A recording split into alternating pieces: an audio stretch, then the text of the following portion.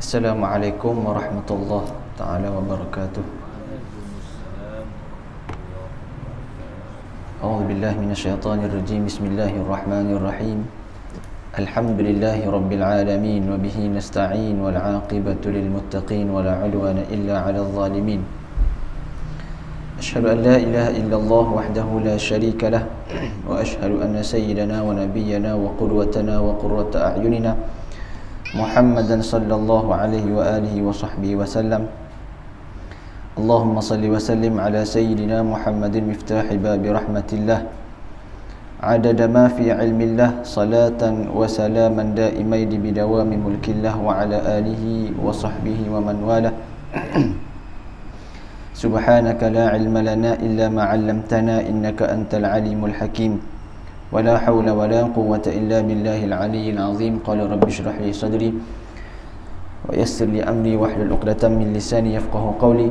نويت التعلم والتعليم والتذكر والتذكير والنفع والانتفاع والإفادة والاستفادة والحث على التمسك بكتاب الله وسنة رسوله صلى الله عليه وآله وصحبه وسلم والدعاء إلى الهدى والدلالة على الخير ابتغاء وجه الله وقربه وثوابه سبحانه وتعالى. ربي زدنا علما اللهم افتح علينا فتوح العارفين وارزقنا فهم النبيين أما بعد الحمد لله ثم الحمد لله syukur pada Allah Subhanahu wa taala di atas segala nikmat dan kurniaan kepada kita uh, sehingga ke saat ini diberikan peluang lagi untuk berada dalam kebaikan diberikan peluang lagi untuk berada dalam ketaatan pada Allah Subhanahu wa taala diberikan peluang oleh Allah Subhanahu wa taala untuk bernafas pada tahun yang baru malam ni ya tak? Tahun baru alhamdulillah 2020 empat malam pertama di tahun barulah kita ni Alhamdulillah. Maka bertambah tahun bertambah jugalah umur kita dan semakin pendeklah uh, tempoh kita untuk bertemu dengan kematian ya. bertambah umur kita semakin dekat kita dengan dengan kematian maka orang yang cerdik itulah mereka yang senantiasa uh, ingat Allah Subhanahu Wa Taala ingat kematian. Maka kita berazam dan disunatkan pada kita untuk bergembira ha, untuk bergembira pada tahun baru. Ataupun kita boleh katakan sesuatu benda yang baru dapat pada kita sunatkan untuk kita bergembira. Apa sahaja dapat baju baru dapat kereta baru rumah baru ha, bergembiralah. Maka tahun baru pun bergembira dalam keadaan tidak tergelincir daripada landasan Islam kita. Berhibur tidak masalah tapi hiburan yang tidak melalaikan. Ha, bergembira kita ini dalam ketaatan senantiasa. Maka dan disunatkan kepada kita untuk senantiasa berdoa. Bila masuk apa-apa yang baru masuk baru masuk bulan Ramadan sebagai contoh ataupun tahun baru ni uh, azam kita niat kita perbanyakkan niat kita uh, maka jadikan tahun lepas itu dah berlalu jadikan teladan atau iktibar kepada kita dan kita niat pasang niat yang paling banyak untuk tahun ini agar menjadikan tahun ini tahun yang terbaik bagi kita. Andai kata Allah Taala nak ambil nyawa kita pada tahun ini, jadikan tahun ini tahun yang rekod ketakwaan kita kepada Allah Subhanahu Wa Taala paling tinggi. Maka berazamlah kita ini untuk jadikan senantiasa bukan kata tahun saja, hari-hari kita. Hari ini lebih baik daripada hari semalam, jadikan esok pula lebih baik daripada hari ini. Ha, begitulah kehidupan kita. Dan perbanyakkan muhasabah diri. Muhasabah diri kita uh, kenangkan dosa-dosa kita yang dah lalu. Jangan ulangi maksiat ataupun dosa yang dah kita buat muhasabah diri kita kurang ketaatan kita kepada Allah Ta'ala maka tambahkan ketaatan kita Kata Nabi sallallahu alaihi wasallam, al-kayyis man dana nafsahu wa amila lima ba'da al-maut. Al-kayyis orang yang paling cerdik, orang yang pintar. Man dana nafsahu, mereka yang senantiasa bermuhasabah diri dia. Wa amila lima ba'da al-maut dan mereka beramal untuk bila? Untuk hari selepas pada kematian dia. Maka dia beramal ni untuk hari lepas kematian dia nak bawa kepada uh, nak bertemu dengan Allah Taala nanti. Maka dia senantiasa bermuhasabah diri. Kata Sayyidina Umar radhiyallahu taala anhu hasibu anfusakum qabla an tuhasabu. Hisablah diri kalian yakni hitung diri kita ini dosa kita amalan kita banyak mana? Qabla an tuhasabu. Sebelum kamu dihisapkan oleh siapa? Oleh Allah taala. Bila Allah taala dah hisap dah tak ada benda dalam kita. Dan hisap Allah taala hisap yang paling adil hisap yang paling terbaik. Man ya'mal mithqala dzarratin khairan yarah wa man ya'mal mithqala dzarratin syarran yarah. Siapa yang beramal sekecil-kecil kebaikan pun akan dicatat kebaikan. Siapa yang ber, melakukan uh, ke, ke, kemaksiatan ataupun keburukan pun akan dihitungkan walaupun sekecil zarah sekali sekalipun ha, maka hisaplah diri kita ini supaya senantiasa bertambah amalan kita bertambah ketaatan kita kepada Allah Subhanahu wa taala. Alhamdulillah baik. Kita menyambung kepada pengajian kita dalam kitab Nasaihud Diniyah wal Wasaya al Imaniyah karangan Al Imam Abdullah bin Alawi Al Haddad nasihat agama dan wasiat iman. Kita berhenti pada muka surat 40. Kitab biru ni lah. Pada menyatakan tentang jangan biarkan hatimu keras dan lalai. Maka nak membahaskan tentang perihal hati kita keadaan hati kita dengan Allah, keadaan hati kita dengan manusia. Lalainya kita ini bagaimana? Tayyib, baik. Sebut dalam Al-Quran ayat dalam suratul Kahfi.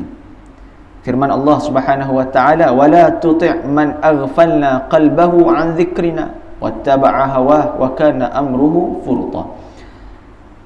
Kata Allah Subhanahu wa taala dan janganlah engkau turuti kaum yang kami kami yakni Allah lalaikan hatinya dari mengingati kami jangan ikut mereka ni orang-orang yang lalai dengan Allah Ta'ala orang lalai kita pun sibuk lalai tak?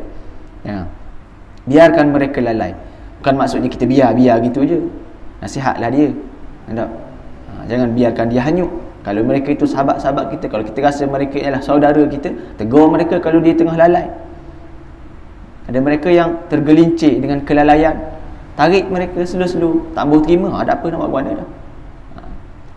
Jangan biarkan orang lain lalai. Kita dalam ketaatan dan kita merasakan diri kita lebih baik pada pada orang lain. Kita duduk surau, kita duduk sejik Orang tak mari surau, orang tak mari sejik Kita kata, oh berat dia ni. Ahli neraka. Ha, Sedap sangat kita. Ha, Maka jangan pandang Jangan pandang remeh pada orang lain. Jangan pandang rendah pada pada orang lain. Tapi wala tuti' man aghfalna qalbahu. Azikrina Jangan kamu turuti Jangan kamu ikut mereka ini yang lalai kepada aku.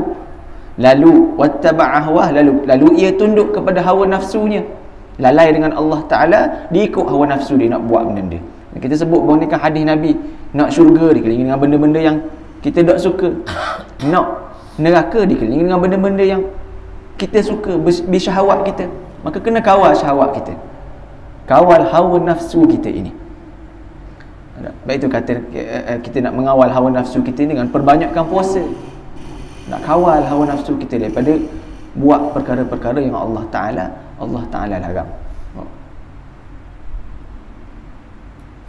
nak boykot orang itu lah boykot, boykot tak apalah. Boykot tapi yang paling kita kena boykot hawa nafsu kita. Jangan jadikan ikut try ikut suasana. Orang duduk boykot Dulu Dia ni online kan Boleh online? Selalu kita order mediated Ada orang dah sedar kata. Maka hawa nafsu kita Kita tak nak lawan hawa nafsu kita. Ha, Maka yang penting sekali kita kena lawan Hawa nafsu kita. Bukannya kita Tolak sesuatu benda ataupun eh, Menolak segala kemungkaran ini Ikut terang. Bukan. Ada. Menolak kerana hawa nafsu kita. Allah Ta'ala larang kita. Nak tolak kita tolak benda tu. Ikut hawa nafsu kita dengan Dengan keadaan yang molek ya. Baik, baik. Maka menjadilah urusannya itu Mereka yang ikut hawa nafsu mereka ini Maka menjadilah urusannya itu sia-sia belaka mana tak maka tak berguna. Sia belaka apa yang mereka buat sebab buat dalam keadaan lalai kepada Allah Subhanahu wa taala. Baik baik kata musannif rahimahullah taala seseorang itu dikira lalai juga apabila dia membaca al-Quran al-Karim atau mendengarnya. Akan tetapi tiada merenungkan maknanya atau mendalami maksudnya tiada menuruti perintah dan larangannya tiada menuruti nasihat dan teguran yang terkandung dalam ayatnya. Demikian pula hukumnya sama terhadap hadis Rasulullah sallallahu alaihi wasallam ucapan para salafus salih ridwanallahu alaihim ajma'in. Maka kita juga dikira sebagai orang yang lalai. Ketika mana? Kita membaca al-Quran kita mendengar al-Quran kita mendengar hadis Nabi sallallahu alaihi wasallam kalam-kalam dari ulama nasihat-nasihat daripada orang-orang tua nasihat-nasihat daripada para asatizah kita. Tetapi kita tidak mengendah maka ini juga tergolong dalam golongan hati yang yang lalai. Lalai kepada Allah Subhanahu wa taala maka kita cuba untuk memahami isi al-Quran itu.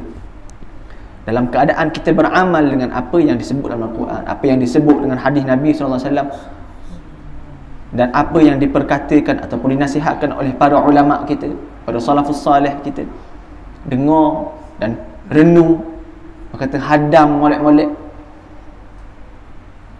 maka membaca al-Quran ini tak, tak, tak menjadi sesuatu yang sia-sia kalau kita tak faham sekalipun tak tak sia-sia al-Quran ni. Baca-baca al-Quran. Dapat pahala kita. Uh, Imam Ahmad bin Hanbal bermimpi bertemu dengan Allah Taala. Tak dan dia bertanya kepada Allah Taala ya Allah apakah perkara yang boleh mendekatkan diri aku kepadamu? Jawab Allah Taala bi qiraatil Quran. Dengan kamu membaca al-Quran. Imam Ahmad bin Hanbal tanya bi fahmin aw ghairi fahmin? Dengan aku faham atau aku tak faham jawab Allah Taala bi fahmin wa ghairu fahmin. Faham ke tak faham? Pun dah mendekatkan diri pada Allah.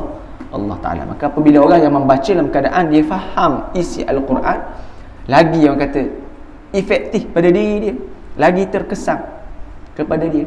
Orang mari nasihat. Tak hok mari nasihat tu pada kita contoh mari ngajar ustaz ni ustaz India. Dia cakap bukan cakap bahasa Melayu cakap bahasa India. Bla bla bla. Tak cakap bahasa India dia nasihat benda yang molek. Tapi kita faham tak faham? Tak faham gitu. Balik kita balik gitu kita. Sebab tak faham. Tak, tak memahami apa yang diperkatakan. Tak hadam tak hadam tak, tak faham lagi benda tu. Maka begitu. Apa yang kita faham baru memberikan kesan pada diri kita. Zikir kita kepada Allah Ta'ala. Begitu juga. Faham zikir itu. Dalam semayang kita. Istihdar ma Allah. Hadirkan Allah Taala dalam semayang kita. Dalam zikir kita. Betul-betul ingat pada Allah Taala. Bukan hanya sekadar gerak tasbih saja tekan tasbih dak tekan tasbih dalam keadaan ingat betul-betul la ilaha illallah muhammadur rasulullah selawat pada nabi betul-betul ingat nabi betul-betul ingat Allah Taala maka zikir kita itu memberi kesan pada diri kita sebab dia, bila kita ingat Allah Ta'ala semua, ini yang dikatakan mendapat martabat muraqabatillah. Dapat martabat pengawasan dari Allah Ta'ala. Setiap gerak-geri kita, kita ingat Tuhan. Berani tak kita nak buat maksiat? Tak berani kan? Orang berani buat jahat, berani buat maksiat secara tersembunyi. Sebab dia, orang tak nampak dia kata. Bila ingat orang, orang tak nampak dia buat maksiat pun. Duduklah bilik seorang-seorang. Cari tempat-tempat tersembunyi, buat maksiat, buat dosa. Orang tak nampak. Nak curi ke curi dalam keadaan orang ramai gini? Mari masuk dia curi. Kena katok dia tu. Maka dia curi lah keadaan orang yang apa. Tapi tak sedar bahawa Allah Ta'ala tengok dia. Allah Ta'ala maha melihat. Dan dia ketika mana mencuri, dia ingat Tuhan ke tak? Dia ingat lah tu. Maka orang yang ingat Allah Ta'ala, dia tak akan bermaksiat kepada Allah Ta'ala. Maka nak zikir kita ni, ingatan kita pada Allah Ta'ala itu dalam keadaan istihdar. Hadirkan Allah Ta'ala dalam diri kita. Barulah ianya zikir itu memberikan kesan pada diri kita apa sajalah nasihat-nasihat orang nasihat pada asatizah kita pada ulama kita nasihat orang-orang tua kita faham hadam apa yang disampaikan baik baik seorang itu dikira lalai apabila ia tidak mengingati mati. Ha ni. Dah ingat mati. Dan tiada memandang berat tentang hal ehwal yang bakal berlaku sesudah mati. Sama ada ia tergolong ahli sa'adah. Orang-orang yang berbahagia. Yakni orang yang menang. Bahagia di akhirat nanti. Masuk dalam syurga lah maksudnya. Atau tergolong ahli syakawah. Orang yang celaka. Dah celaka bila akhirat lagi duduk mana? Duduk dalam neraka lah. Ia tidak pernah mahu memikirkan semua itu ni dikira orang yang lalai. Dah ingat pada kematian. Kita ni tambah tahun kita ni. Dah kita sambut ulang tahun kelahiran kita. Gembira-gembira lah tak apa. Tapi jangan melalaikan diri kita. Ingat bertambah umur kita ni maka kau pendek kehidupan kita atas dunia. Yang mana kita yakin. Tak? yakin kita akan mati. Cuma bila je tak tahu? Maka orang yang cerdik. Begitu sebab tadi lah orang yang cerdik yang senantiasa muhasabah diri dia. Ingat semua kematian dia. Beramal untuk mati dia kayak gini. Tak. beramal untuk dibawa. Akan kata kalau Nabi SAW sebut bila dah mati kita kat gigi dah tiga benda akan ikut kita. Ah ahluhu wa maluhu wa amalu. Akan ikut dengan kita. Bila kita mati kat gigi ikut ke jenazah kita ahli kita ahli keluarga kita ikutlah ke pitih kita pun ada juga kita-kita kita akan ikut juga. Dan juga amalan kita. Nabi sebut dah akan balik dua akan tinggal satu. Balik belaka ahli kita keluarga kita orang dekat dengan kita mak aja tak akan balik juga ke rumah. Balik. Harta kita pun balik juga. Orang nak buat faraid ni. Nak bagi harta. Oh balik. Hak tinggal dengan kita dia amalan kita maka orang beramal wa amila lima ba'dal maut. Dia bersungguh-sungguh beramal ni untuk hari selepas pada kematian dia. Ini orang yang cerdik orang yang pintar. Sebab dia jadikan dunia ini adalah persinggahan pada dia saja. Nak tahu memang dia akan mati. Oh tak mati saja Tuhan. Allah Ta'ala tak akan mati. Wa yabqa wajhu rabbika adzil jalali wal ikram. Hak kekalnya Allah Ta'ala saja. Dan kita di asalnya tak ada. Adanya Allah Ta'ala kita di wujud baru lagi ada. Ha, ni. maka yakin kita akan mati. Maka orang yang cerdik dia akan beramal untuk hari selepas pada kematian dia. Maka kalau orang tak ingat ni tak ingat mati. Ah, lalai lah dia. Bila dah ingat mati maka berseronok kita. Tak orang yang ingat ingat mati ni ha, boleh kata tak nak makan lah. tak nak makan nak minum. Ingat ke mati? Tak.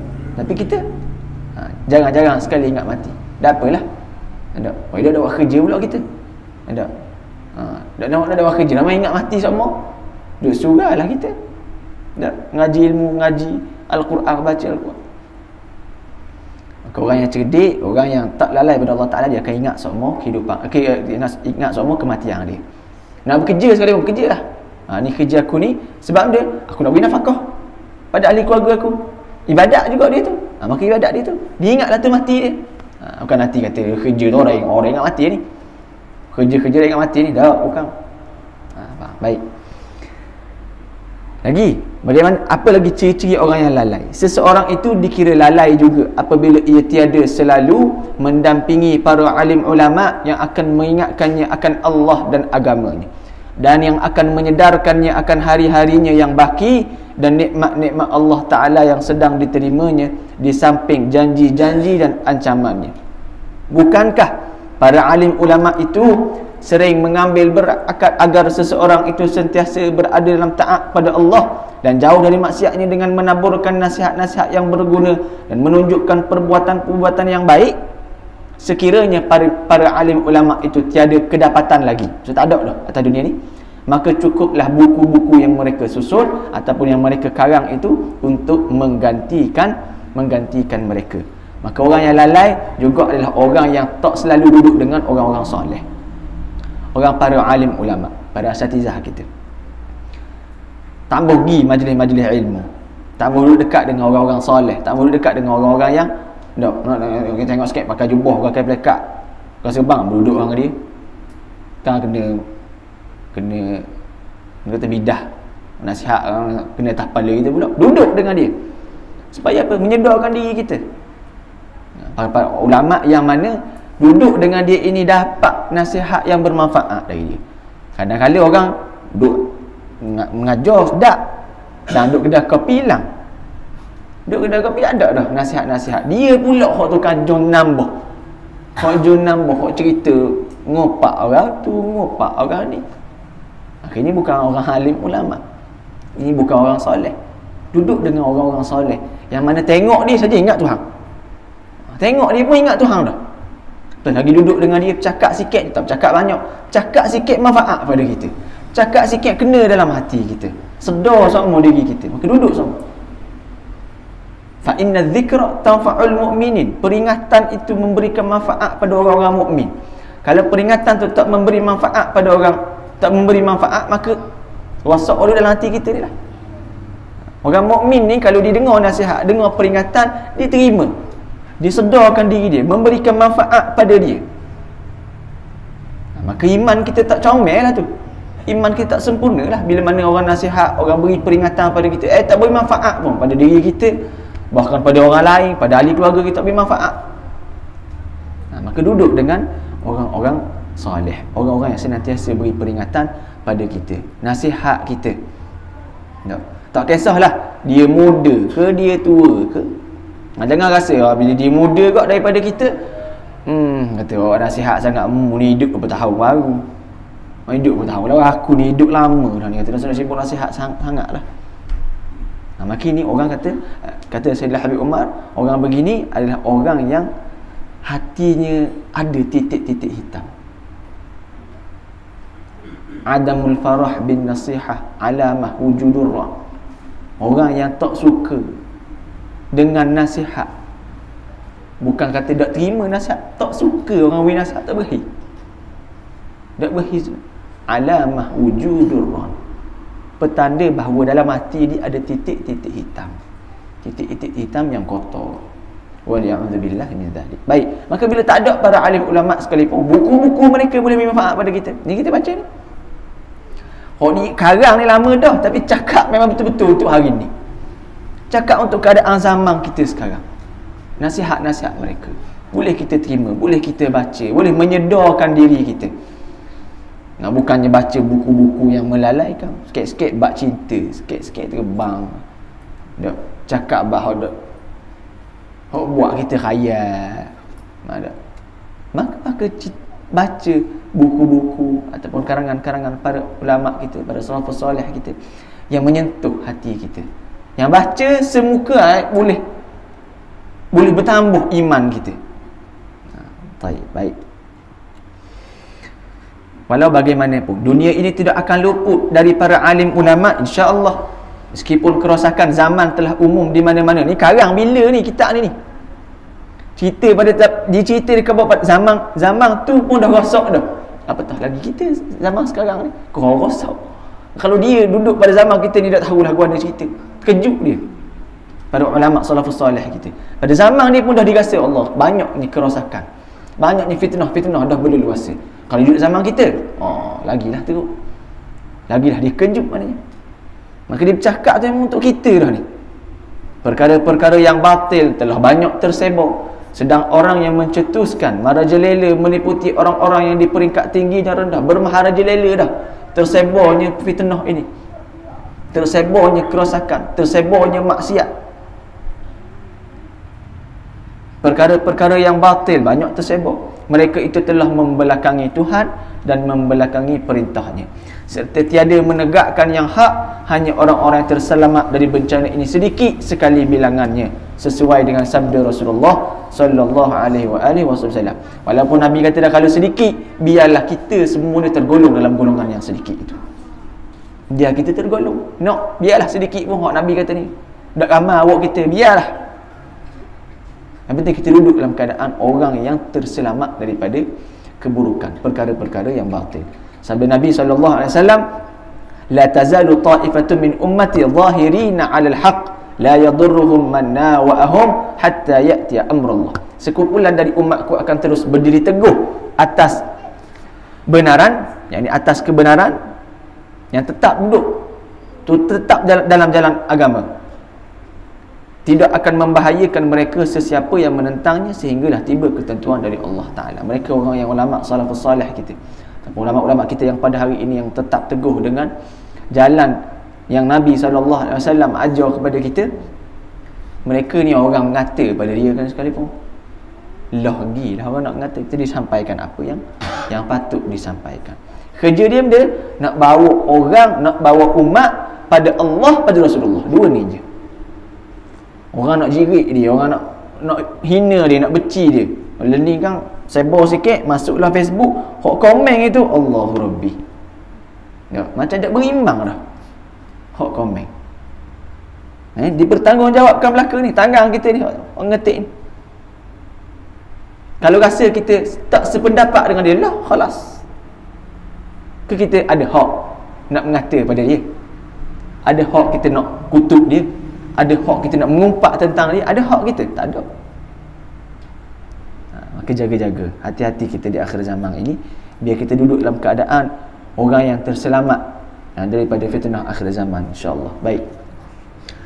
Ada banyak lagi berita dan cerita yang menceritakan bahawa dunia ini tidak akan luput dari orang-orang yang mempertahankan kebenaran dan berdiri atas kitab Allah, Al-Quran dan sunnah Rasulullah sallallahu alaihi wasallam. Pada bila-bila masa sekalipun. Hanya bilangan orang-orang ini akan terus berkurangan di akhir zaman. Mungkin juga mereka itu akan menyembunyikan diri sehingga tiada dapat dikenali oleh umum lagi melainkan penuntut-penuntut yang benar-benar mencari dan mencintainya dengan penuh ikhlas wallahu alam. Maka di akhir zaman ini memang para ulama orang soleh soleh kita ini akan diambil oleh Allah Taala. Allah Taala akan mencabut ilmu-ilmu di atas muka bumi ini dengan dengan benda? Biqabdil ulama. Allah Taala akan tarik nyawa para alim ulama kita. Dan ada yang diambil, ada yang mereka ini bersembunyi dah.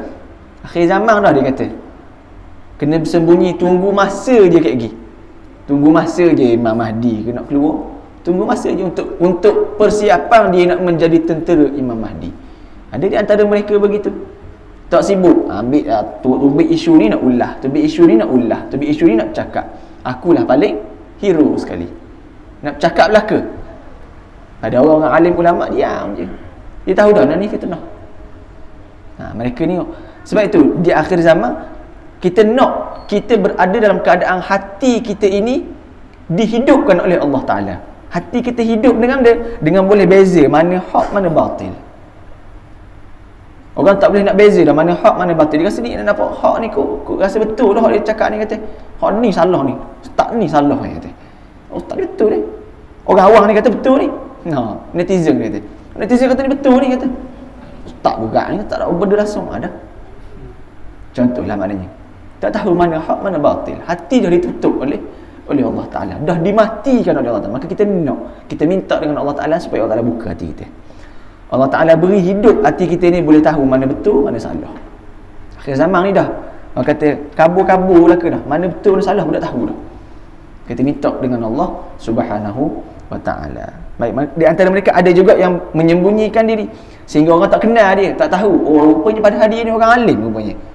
Dia ni orang soleh, dekat dengan Allah Taala. Tak tak tahu. Kecuali mereka-mereka para pencintanya. Yang sayang pada orang-orang alim yang nak cari ilmu, ah, dia akan jumpa lah. diberi diberi kemudahan oleh Allah Taala boleh jumpa. Kita kok kalau kita kata oh, oh, orang ni bagus ni orang soleh ni orang soleh kata orang dekat dengan Allah Taala. Yang ditutup hati oleh Allah Taala kata, "Ya kedok mu," kata. Hmm, ambil ngati orang-orang. Siapa dia pun tak tahu ah. Ha. Ada kali Allah Allah Taala beri muka pintu hati dia nampak oh ini orang-orang yang orang yang soleh. Pada kekasih Allah Taala. Kita jangan rasa ni di antara kita ni yang kita rasa oh, kita paling bagus kali. Tak tahu di antara kita ni mungkin ada orang yang paling dekat dengan Allah Taala.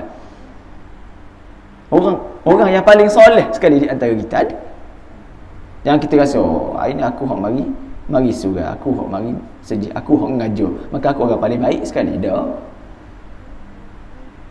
semayang kita semayang kita tak tahu terima ke tak semayang orang lain terima ada tahu? Ha, ini semayang garik ini semayang saya diterima oleh Allah Ta'ala. Dan saya ahli syurga.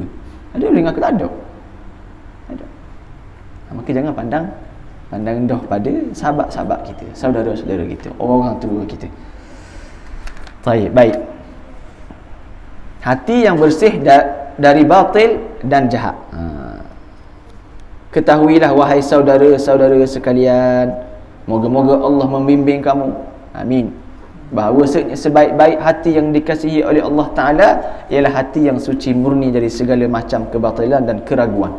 Bersih dari segala aneka rupa kejahatan. Hati yang sentiasa tunduk kepada yang hak dan petunjuk yang diliputi oleh kebajikan dan kebaikan. Jangan rasa luaran nampak comel, nampak baik. Rupanya hati busuk. Ada hasad, ada kibir, ada sombongnya. Maka Allah Taala pandang mana? Dalam hati kita. Inna Allah la yanzuru ila suwarikum wala ila ajsarikum. Allah Taala tak akan melihat Bukan tak akan melihat, tak akan menilai seseorang itu melalui suwarikum ataupun ajsarikum. Gambaran dia ataupun jasad dia orang Taala tak hitung benda tu, tak menilai benda tu. Walakin yanzuru ila qulubikum. Allah Ta'ala akan menilai duduk dalam hati kita ni guana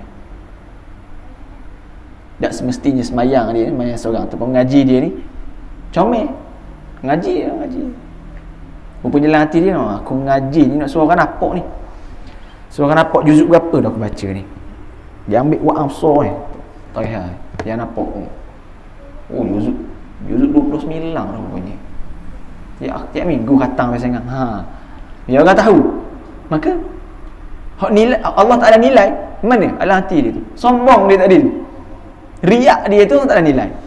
Dan riak tu mana? Mazmumah ke mahmudah? Mazmumah. Ngaji dia tadi? Sia-sia. Baik, kena jaga hati kita. Dalam sebuah hadis Nabi SAW, Al-qulubu arba'atu. Ha, hati ni ada empat. Ha, bukan setiap seorang ada empat hati. Ha, seorang ada se-se jati dia. Al-qulub jenis. Ha, jenis dia ada empat. Qalbun ajrad fihi sirajun yuzhiru fadhalika qalbul mu'min. Hati ini ada empat macam dia.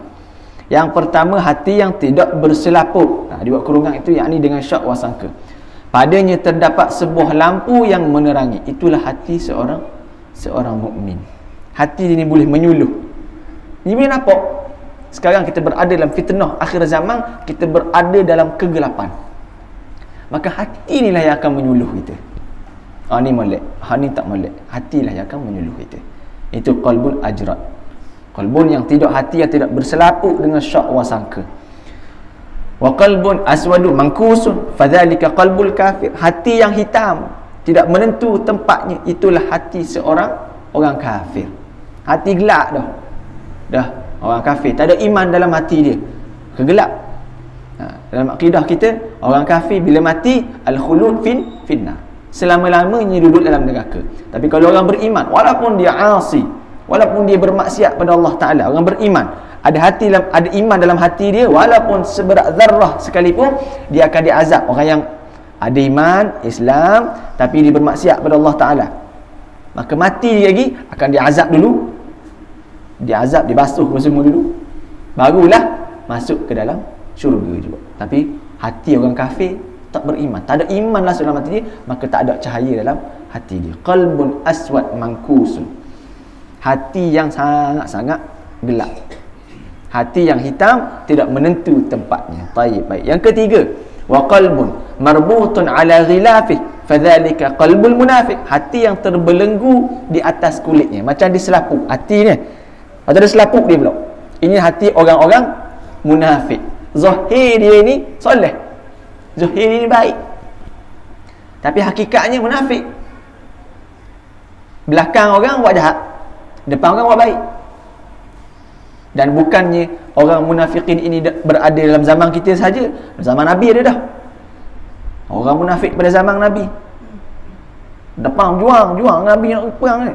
Sampai masa Nabi pun suruh perang, sakit dak urut ha, dak leh perang ha, ini orang munafikin depan Nabi pergi semayang eh? Dengan Nabi. Semayang belakang Nabi ni orang munafikin. Semayang belakang Nabi sallallahu alaihi wasallam.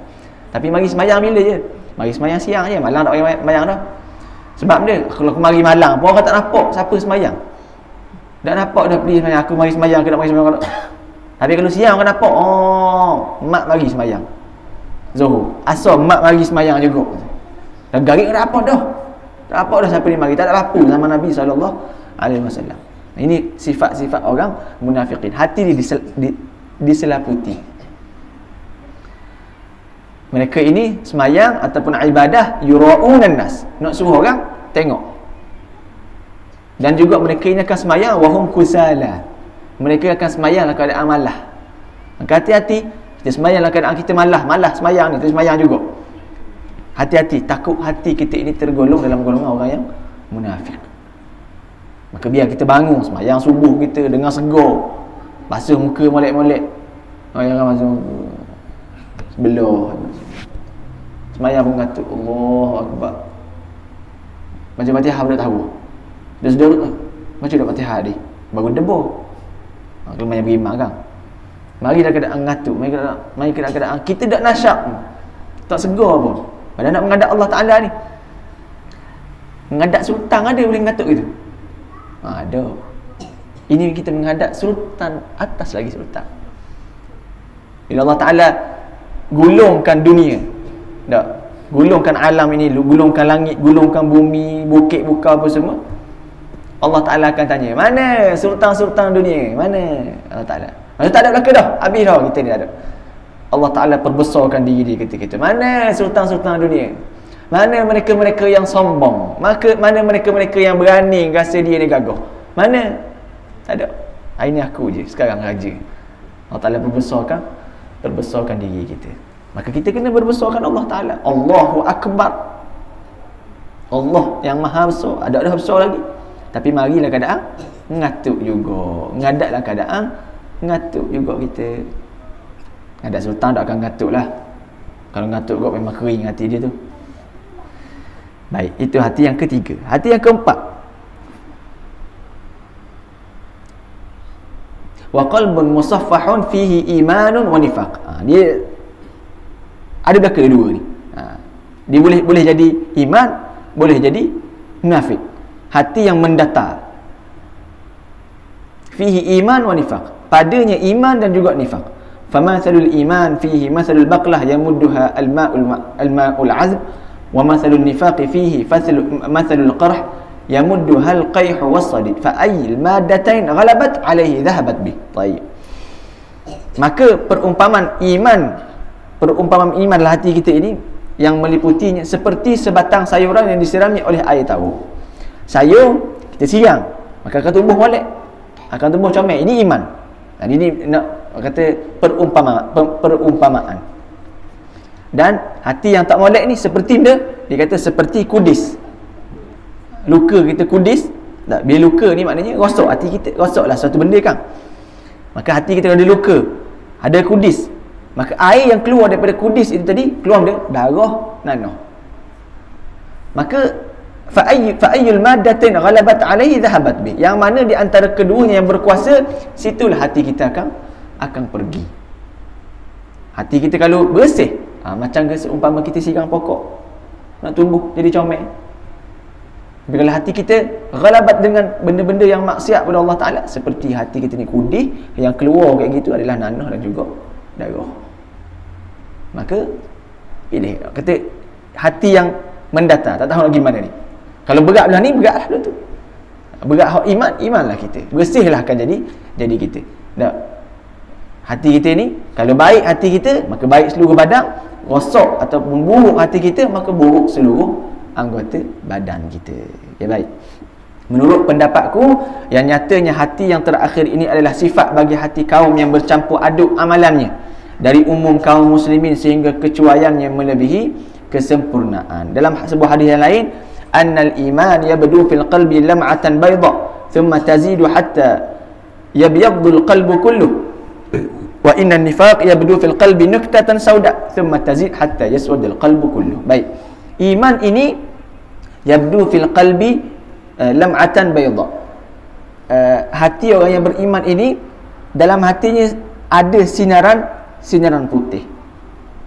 Lalu ia membesar hingga seluruh hatinya itu menjadi putih. Maka kalau kita bertambah dengan amalan kita maka hati akan putih putih putih semua. Akan membesar hati kita dalam keadaan bercahaya tapi sedang nifak pula orang yang munafikin ini mula muncul dalam hati dia seperti titik-titik hitam sikit-sikit je Sikit-sikit lama-lama lalu merebak sehingga seluruh hati itu menjadi hitam waliya'udzubillah min zalik. Sehingga kan apa? Sehingga kan dia dah tak rasa dah apa yang dia buat itu dosa. Ini hati yang gelap dah. Ada ada benda dah. Dosa aku buat ni. Kau ada pesan sama mengupak ni dosa, mengupak ni dosa. Tiba-tiba mengupak kau. Dah berasa dah dosa. ha ni kita takut. Takut dia dah, dah tak berasa yang yang apa yang dia buat itu adalah dosa terus je dia buat dosa. Takut-takut benda mati dalam keadaan pun buat buat dosa. Waliya'udzubillah min zalik. Mudah-mudahan Allah Ta'ala pelihara kita sekalian daripada bahaya nifak amin. Serta di akhir hayat kita berserta kaum muslimin dalam agama Islam. Amin ya rabbal alamin sesungguhnya iman itu akan bertambah dengan sentiasa mengerja dan membanyakkan amalan-amalan yang soleh dengan sepenuh ikhlas pada Allah Ta'ala. Manakala nifak pula akan bertambah dengan bertambahnya amalan-amalan yang jahat seperti meninggalkan perkara-perkara yang wajib dan melakukan perkara-perkara yang ditegah oleh agama. Iman kita bertambah cahaya dia dengan apa? dengan amalan yang kita buat. Banyak amalan soleh kita buat bertambah iman kita iman orang-orang mukmin orang orang kita ni kita hamba-hamba Allah Taala ini iman kita naik yazid wa yanqus. Naik bertambah dan juga boleh berkurang. Bertambah bila? Bila kita buat amalan soleh. Berkurang bila? Bila kita berbuat maksiat pada Allah Taala. Kalau kita sebut kita kita baca dalam kitab Syama'il ada sebut benda. Iman kita ini naik kadar iman kita akan bertambah. Bila mana bertambah cinta kita pada Rasulullah sallallahu alaihi wasallam maka iman kita kurang maka itu adalah kadar kurangnya cinta kita pada Rasulullah sallallahu alaihi wasallam. Qul in kuntum tuhibbunallaha fattabi'uni. Nak siapa pada Allah Taala, nak dapat cinta Allah Taala, fattabi'uni kata Nabi sallallahu alaihi wasallam. Ikut aku. Sayang pada aku dulu. Dengar apa aku khabar, ikut aku, barulah engkau akan mendapat yuhibbukumullah. Allah Taala akan sayang pada pada kalian. Takkan siapa kita pada Allah Taala melalui pintunya Nabi Muhammad sallallahu alaihi wa alihi wasallam besarkan Nabi, besarkan Nabi Muhammad kita kita umat Nabi Muhammad Bahkan sampai akhir zaman lagi sampai di akhirat lagi Nabi tak kenal kita. Umat dia sendiri Nabi tak kenal. Sebab dia kita tak kenal Nabi. Ha, maka kita nak biar kita dikenali oleh Nabi. Nabi senantiasa dibentangkan oleh Allah Taala amalan kita. Wadulat alayya a'mala ummati. Dibentangkan kepada aku amalan-amalan umat aku. Nabi tengok semua hari ni kita buat benda ni, kita buat benda hari ni. Dibentangkan. In wajadtu khairan hamidullah kalaulah aku dapati amalan hamba aku amalan umat aku ini baik hamidullah aku akan mengucap alhamdulillah. Syukur kepada Allah taala. In wajadtu ghairu kalau aku mendapati dalam riwayat kata in wajadtu syarran kalau aku mendapati amalan umat aku ini sebaliknya yakni buruklah baik sebalik daripada baik adalah buruk maka Nabi buat dia istighfarkan untuk kita Nabi akan memohon keampunan ke atas ke atas kita. Sayang Rasulullah pada kita. Tapi kita tak kenal Nabi Nabi Muhammad sallallahu alaihi wasallam. Kata Nabi sallallahu alaihi wasallam, "Man aznaba dhanban nukita fi qalbihi nuktatun sauda, fa in taba suqila qalbuhu wa in lam yatub zada dhalik hatta yaswadda qalbuhu." Sesiapa yang melakukan sesuatu dosa, maka akan tumbuh di hatinya setitik hitam. Kiranya ia bertaubat, akan terkikislah titik hitam itu dari muka hatinya jika ia tidak bertaubat, maka titik hitam itu akan terus merebak sehinggalah seluruh muka hatinya menjadi menjadi hitam. Ha, tak bertaubat. Tak bertaubat Allah Taala terus dia buat dosa tu, buat dosa, hati kau hitam, kau hitam, kau gelap. Siapalah hati ini di, diberi kekerasan oleh Allah Taala dengan nangisnya tak dah dengan bila buat maksiat pun tak berasa itu adalah dosa ini hati dah gelap dah hati dah kerah dah maka kalau buat salah buat dosa terus bertaubat cepat-cepat bertabat supaya terkikis titik hitam dari dari hati kita. Tak? Kata Nabi wasallam, kalaulah orang mukmin ini tak tahu betul besarnya ukubah Allah taala, akibat ataupun uh, azab Allah taala ini ma tami'a min jannatihi ahad. Tak ada orang pun mengharapkan untuk berasa nak dapat syurga. Kalau dia rasa, dia, dia faham Ukubah Allah Ta'ala Azab-azab Allah Ta'ala ni Dia dah tak berasa maksudnya Allah Dosa aku banyak ni memang tak dapat dah Tak dapat dah syurga ni Dan Nabi kata benda lagi Kalaulah orang kafir ini tahu Betapa rahmatnya Allah Ta'ala Mereka tak akan putus asa dalam bertaubat Tak akan putus asa dalam mencari rahmat Allah Ta'ala. Kalau orang kafir. Kita nak begitu juga. Kita nak berada dalam dalam kehidupan kita ini berjalan atas jalannya khauf dengan rojak. Khauf dengan rojak. Rojak deh pengharapan. Bukan rojak ni. Nah, aku ingat rojak rojak. Khauf rojak. Takut dan juga harap pengharapan takut dengan Allah Ta'ala. Takut dengan apa yang Allah Ta'ala janjikan. Kalau aku buat ni dosa mana? Allah Ta'ala akan azab begini. Dan selari dengan pengharapan kita pada Allah Ta'ala. Berharap apa dosa aku buat ni aku berharap Allah Ta'ala kan ampunkan dosa aku. Ha, semua kena ada dua ni. Jangan takut-takut saja. Pengharapan tak ada. Jangan berharap-berharap saja. Takut kita tak ada. Ha, kena ada belaka dua-dua ni khauf dan juga roja hadis ini sesuai dengan firman Allah Taala dalam Al-Quran kalla bal rana ala qulubihim ma kanu yaksibun bahkan telah termeterai di muka hati mereka apa yang mereka kerjakan. Mereka buat sesuatu benda itu itulah melambangkan pada hati hati dia. Maka kita kan kita pasal hari itu tak kenalah orang ni dia kata oh, mulut dia je uduh. Mulut dia je cakap kasar. Bukan cakap kasar makilah kata. Tak cakap uduh lah benda-benda yang tak molek dikeluarkan daripada mulut dia. Benda-benda yang kesat. Tapi dia kata dak hati dia baik. Hati dia soleh. Apa yang keluar daripada mulut dia tu dah dari hati dia. Faham molek apa yang keluar daripada mulut dia itu adalah berdasarkan hati dia. Bersih ke tak bersih? Ke ada orang-orang soleh? Kalau kata orang soleh ni memang cakap wuduh maki orang tu maki orang ni. Pakai bahasa-bahasa yang tak molek. Tak ada kita, kita kata dia tu soleh itu melambangkan hati dia. Nabi kata dah kalau baik hati ni baik seluruh anggota badan. Keluar daripada mulut benda-benda yang baik tangan tak buat benda yang jahat mata tak akan tengok benda-benda yang maksiat. Tapi kalau hati buruk buruk belaka lah keluarlah cakap tak moleknya tengoklah benda-benda yang haram tangan buatlah benda-benda yang Allah Ta'ala larang. Nah ini dia. Memanglah jadi sesuatu yang bencana dan mudaratnya lebih berat ke atas manusia di dunia dan di akhirat daripada dosa. Sebab seorang manusia tidak tidak akan disentuh kecelakaan atau ditimpa kesusahan melainkan tersebab oleh dosanya sendiri. Maka kita kena kita sebut dah sama juga. Kena tundingkan jari kita pada diri kita apa yang berlaku musibah bencana pada diri kita ataupun pada ahli keluarga kita sahabat-sahabat kita jangan kata mu ni oh, sakit. Betul lah sakit. Saya sakit ni. Sakit no padang lah mu sakit tu kata. Doh semayang nyedok padang dah mu gitu kata. Aku suruh gini-gini mudah buat kata. Aku suruh mari mengaji mudah mari kata. Oh, dah padang sakit gitu kata jangan. Jangan berasa kita baik pada dia tunding jari pada diri kita. Allah Rabbi. Kawan aku dah ditimpa bencana sekian-sekian kata dosa mari pada aku ni. Bencana disebabkan dosa aku buat ni. Nah, sebab tu kita khabar hak di Palestin kita tidak ha, bukan sebab Allah Ta'ala timpa Allah Ta'ala jadikan dia ni kena duduk jadi orang Palestin duduk kena bom kena perang apa semua. Bukan sebab oh, baki memang saya ni banyak dosa ke benda tak dia tu mati-mati syahid dah. Selesai dah dia mati tu. Oh ni hak ni hak duduk sini dah selesai lagi ni. Allah Ta'ala beri ujian pada mereka untuk siapa? untuk kita.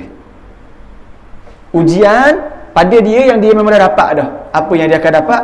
Ujian itu sebenarnya iktibar pada diri kita hari ni. Bagaimana keadaan kita? Keyakinan kita ni mati syahid. Keyakinan kita akan duduk di belakang Imam Mahdi lagi. Duduk belakang Dajjal. Tak ada makanan ni. Dajjal tahu orang sikit Kena pula kita minat kopi. Contoh-contoh. Minat kopi. Bila dah akhir zaman tak ada dah kopi. Habis dah kopi tak ada Makanannya tak ada. Mari Dajjal tahu. Zeus Caramel macchiato. No. Kena pula memang tagih dah, dah, dah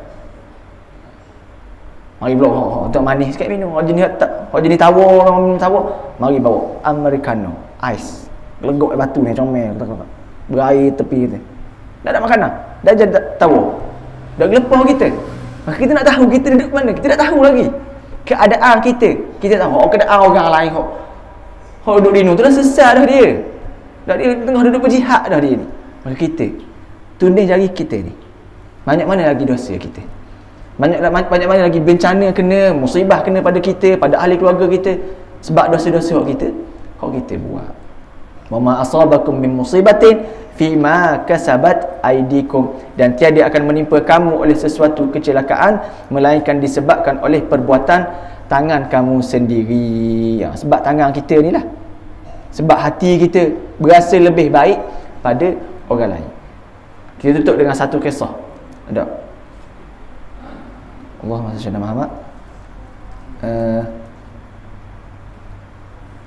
Abu Yazid Al-Bustami. Abu Yazid Al-Bustami seorang ulama sufi. Nah, kita nak ni bak jaga hati kita ni. Nah, jangan rasa kita lebih baik pada orang lain. Abu Yazid Al-Bustami seorang ulama sufi yang sangat-sangat menjaga hati dia sangat-sangat menjaga amalan amalan dia amal ibadat dia. Pada suatu hari Allah Ta'ala nak berikan teguran pada dia melalui siapa? melalui manusia. Bukan melalui anjing seekor anjing. Pada satu hari Abu, Abu Yazid Al-Bustami ni jalan tiba-tiba datang seekor anjing nak mari dekat dengan dia. Mari dekat dengan dia tiba-tiba Abu Yazid Al-Bustami akak kain dia. Takut kena takut kena anjing ni lah. Yang dia yang kita rasa anjing itu adalah najis. Akak kain ni? Abu Yazid Al-Bustami. Kita mungkin lari tu anjing mari kat kita. Akak dia akak maka dia takut jugalah takut terkena najis baju dia ni. Tiba-tiba diilhamkan ataupun diberikan. Uh, kata hijab terbuka hijab oleh Allah Taala kepada dia. Dia dengar apa anjing tu cakap. Anjing tu kata benda wahai Abu Yazid kamu ni sampai larat angkat angkat baju jubah kamu ini sebab takut aku najis sedangkan aku ni kering.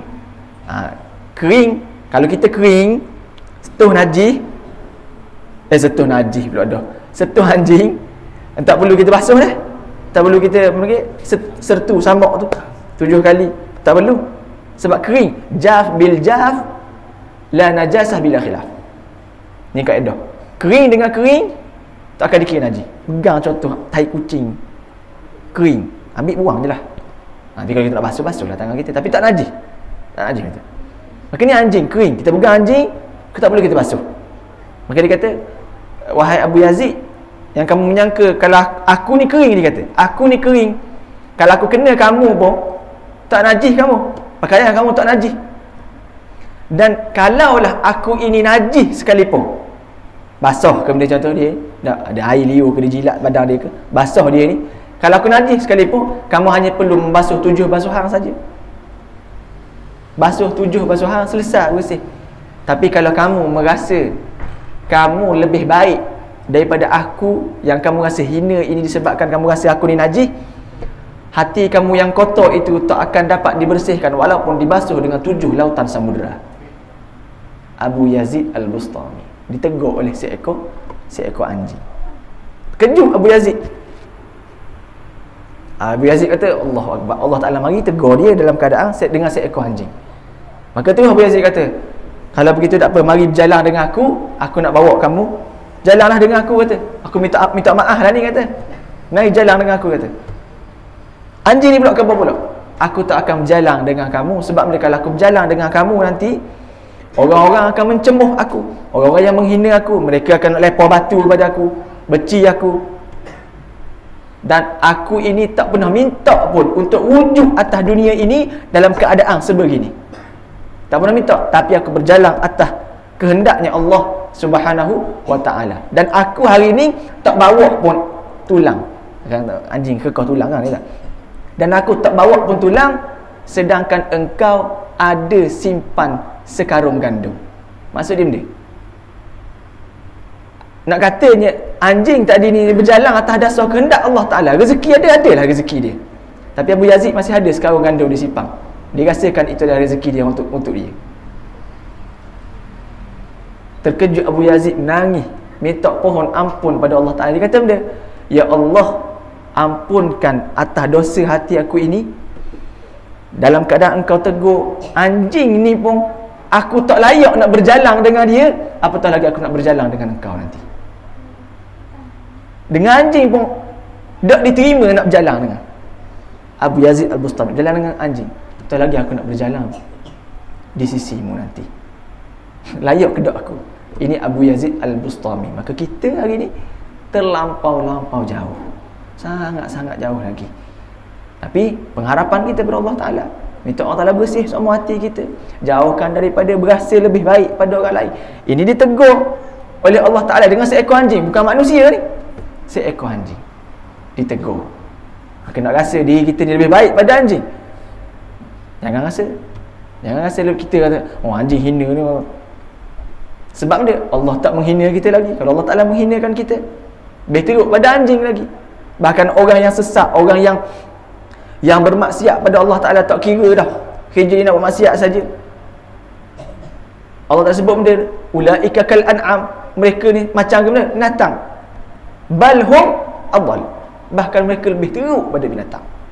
Oh, hari ni macam-macam berlaku. Bunuh mak sendiri. Eh kucing tak bunuh mak dia. Ha, kucing tak bunuh mak dia. Mak bunuh anak pula. Ayam kalau kita curi anak ayam seekor mak dia kejar mana? Ni terbang bulu-bulu eh kejar kita eh. Sayang. Ni mak ada bunuh anak. Terlalu terlalu kata terlalu serabut dengan anak banyak nak pakai bitih dalam dia bunuh anak ayah bunuh anak maka Allah Taala kata hulaika kal an'am bal hum adall. Mereka ni macam binatang dah. Macam ke binatang tapi bahkan mereka lebih teruk daripada daripada binatang wal ya'udzu billahi min zalik. Minta ampun pada Allah Taala agar ampunkan segala dosa kita. Minta dengan Allah Taala supaya bersihkan hati kita daripada segala kekotoran. Bersih hati kita ini seputih-putihnya. Kalau ada titik hitam dalam keadaan kita ni rasa diri kita lebih baik pada orang, hapuskan. Minta Allah Taala hapuskan.